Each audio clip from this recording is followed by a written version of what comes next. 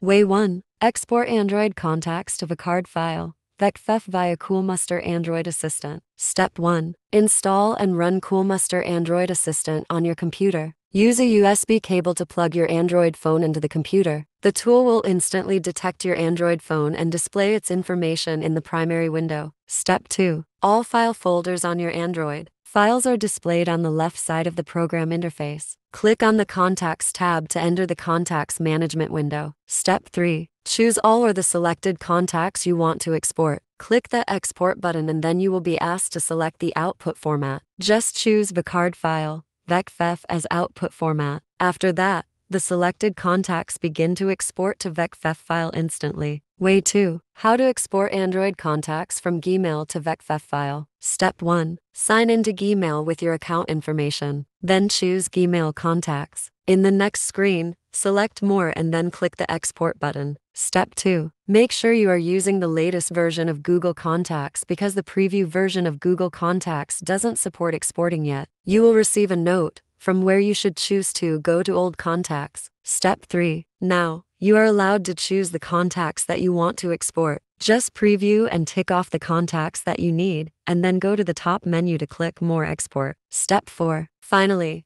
you are allowed to choose the export format you want. Gmail allows you to save the exported contacts as Google CSV, Outlook CSV, and Vcard. Here, you should choose Vcard, and then click the button Export to export the selected contacts as VCF file.